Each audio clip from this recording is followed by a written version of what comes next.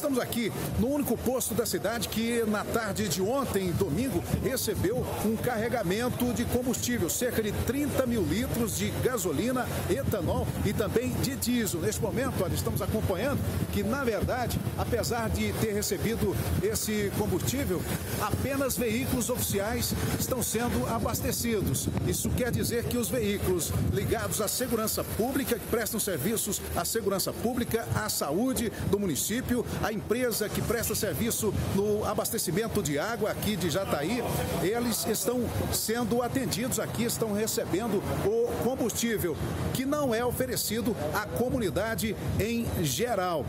Já em Jataí falta, por exemplo, na seção de hortifruti em alguns supermercados já falta a verdura, falta também o legume, itens como cebola, como tomate e também cenoura já não são encontrados mais. Em um dos maiores supermercados aqui da cidade, falta a carne bovina, suína e também frangos. Balcões que outrora eram carregados, cheios, agora estão vazios. A prefeitura de Jataí, através da Secretaria Municipal de Educação suspendeu as aulas. As aulas estão suspensas até que o problema possa ser resolvido ou que esta situação possa ser normalizada. Essa é a situação aqui em Jataí.